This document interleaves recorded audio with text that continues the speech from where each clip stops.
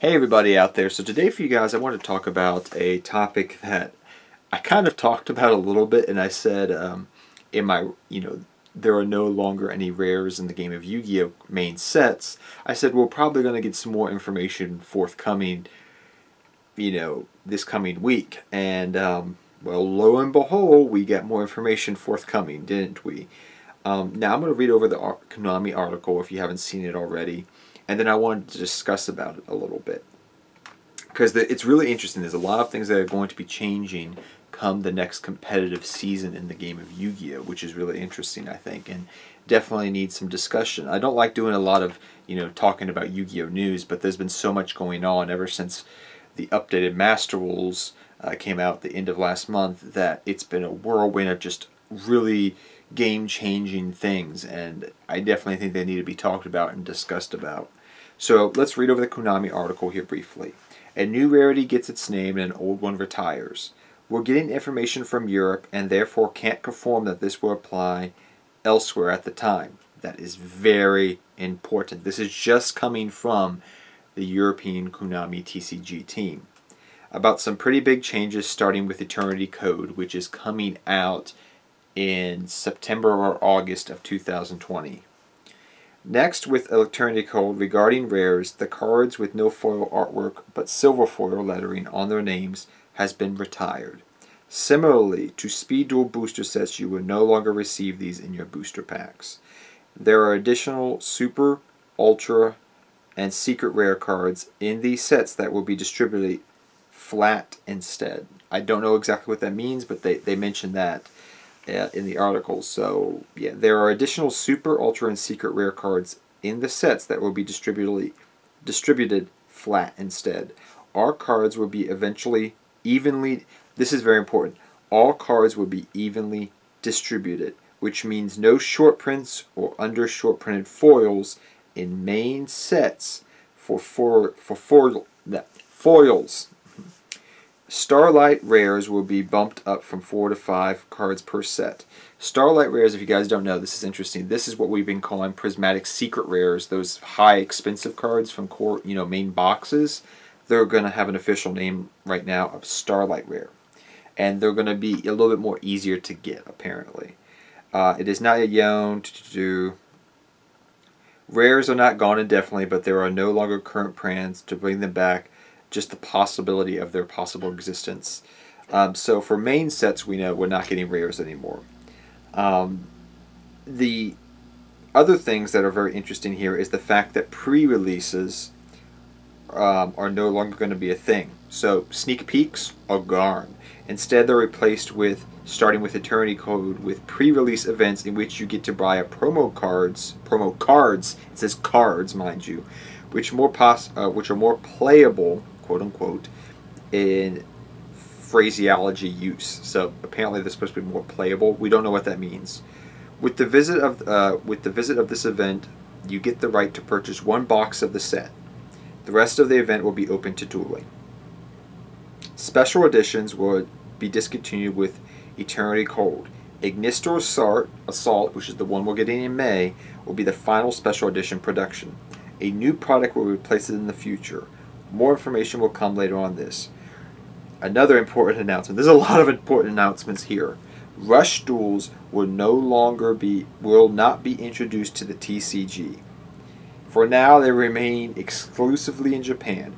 Rush duels are presently considered the OCG's equivalent to speed duels. Alrighty, so there's a lot to take in there, and I just wanted to go over that. So, first things first. Konami announces that they're no longer going to do short prints in the game of Yu-Gi-Oh! Now, it does state this, and it's important to keep this in mind, it just says for Europe. And if we've recognized um, from the last two hero sets, uh, the last two, um, you know, sets that we had, what, uh, the Dark Heroes, I forget the name of that one, and then the Magic, you know, the one when we have the Dark Magician and the regular Elemental Heroes, stuff of that nature. Magician's Soul is what I'm trying to say. You'll notice in these sets that the European prints have kind of flooded the market, especially for the original set with Dark Bane and, uh, you know, Gold.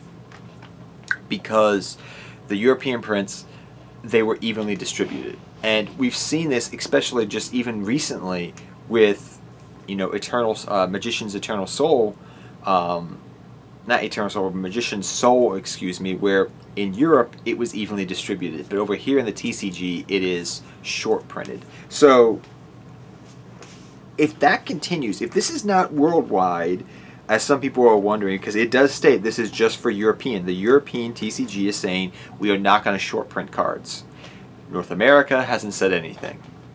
And we've seen, even recently, they've short printed cards. Um, and this is mainly saying they're not going to short print cards out of main sets, so we don't know about side sets and how that's going to pertain yet. But if there's one thing I've noticed, the European TCG takes care of its players much better than the North American TCG. And if the European TCG doesn't short print cards and North America does, you're going to see an influx of European cards coming over to the TCG from people going over to Europe and buying stuff when they go over there for events. It's going to happen. It sucks. This is this that's not cool like at all. that the Europeans like, oh, we're not going to short print. T North America is like, we're going to short print. That's not cool. Uh, hopefully, North America TCG says something, but European TCG has announced they are no longer going to short, short print cards out of main core sets. Second thing, sneak peeks are gone. All right. Um, let's talk about this. Sneak peeks have been around for a long time. I remember the first sneak peek I went to, I think was like Flaming Eternity. It, it, was ages ago, like a long time ago. You probably like, what's Flaming Eternity? Uh, well, for you guys that don't know, about that set. That was the set with Sacred Phoenix of Nephthys. That came out in the GX era, like the beginning of the GX era, end of the original Yu-Gi-Oh era. That's a long time ago. Some of you guys were probably not even born yet. Because mm -hmm. that was like 2000 what? 2004, 2003? I was 13.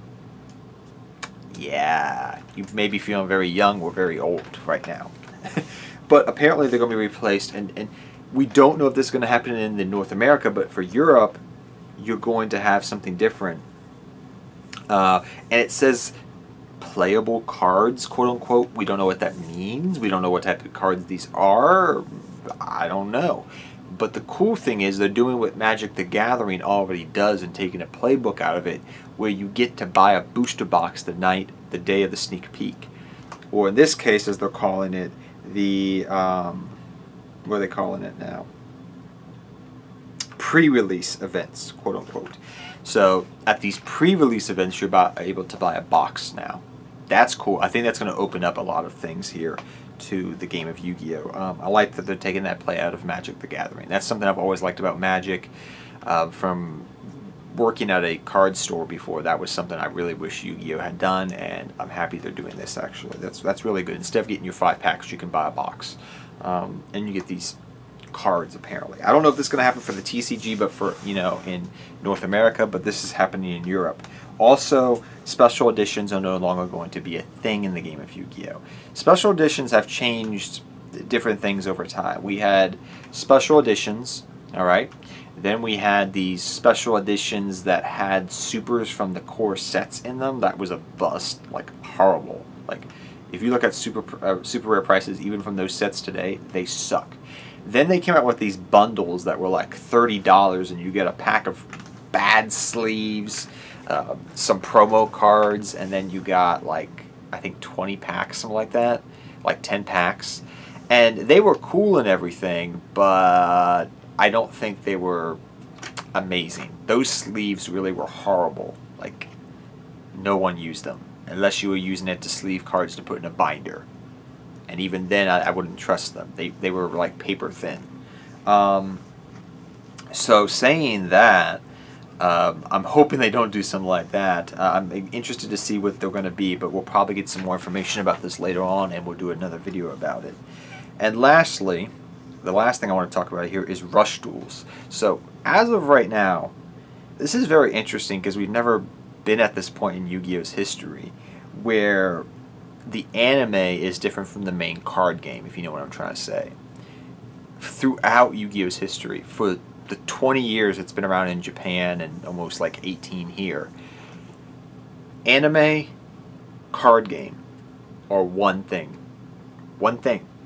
Now, it's two separate things because you have anime, Rush Duels together, and you have other Yu-Gi-Oh game over here.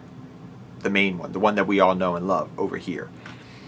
Now, I thought what was going to happen was the Speed Duels was going to die, but that's not going to happen. Instead, what you have is anime, Rush Duels, regular Yu-Gi-Oh over in Japan. Uh, regular Yu-Gi-Oh and Speed Duels over here. Like, I guess. Like, are we even going to get an anime for regular Yu-Gi-Oh anymore? I, I guess not. That's really odd. I mean, maybe that's just. I mean, I think it's. I think it's okay, but like, it feels very odd to not have the anime and Yu-Gi-Oh together for the first time in so long.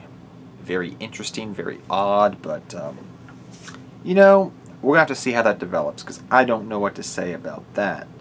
Um, and I do want to apologize for any of these translation errors because this was written by a actually a very good Yugi tuber who I actually watch some good content of who's in German because I actually can speak a little bit. I, I can't speak German, but I can understand German. I took German classes uh, three years in high school uh, from Ryu Brian uh, from Germany. So shout outs to him for giving this information that he got from Konami European Europe. Um, also, they announced that Starlight Rares would be you know prismatic rares, but that's a topic for the different day. I think the main cool uh, cool things to talk about here are a. Konami of Europe says no more short prints in Europe. Sneak peeks are no longer sneak peeks. You can buy boxes at events. And also, special editions are no longer going to be a thing. There's going to be something else. Um, that's a lot of changes. that's a lot of big... like, I, I read that article and I was like, oh, it's going to be one thing. And I'm like, oh, oh, oh, oh, oh, oh. Like, so many 2020 is the year of the shakeup for Yu-Gi-Oh, isn't it? It's like, wow, like, okay. But the short print thing, I think, is the lot, the one thing a lot of people over in the North America are looking at because they're saying uh, Konami of uh, North America department. Um, yeah, we know you've been short printing things for quite some time, but Europe says they're not going to. What are you going to do? I don't know. Um, we'll have to wait and see because I, short prints and side sets are somewhat understandable to sell the set, but in core sets, it should not be a thing at all.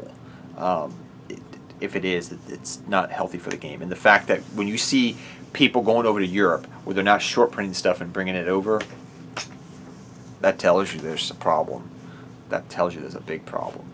Um, but uh, hopefully everything works out. This is really good to see Konami of Europe taking care of the player base over in Europe hopefully North America or follow suit soon. Um, but yeah, tell me your thoughts down below about these changes. You know, no more special editions. How they're changing sneak peeks up to buying boxes and getting these special cards, quote unquote. And also about Konami addressing short prints for the first time in a long time. Uh, tell me your thoughts down below. Until next time, take care, have fun dueling, good luck dueling, and I'll see all of you guys next time. Take care, everybody.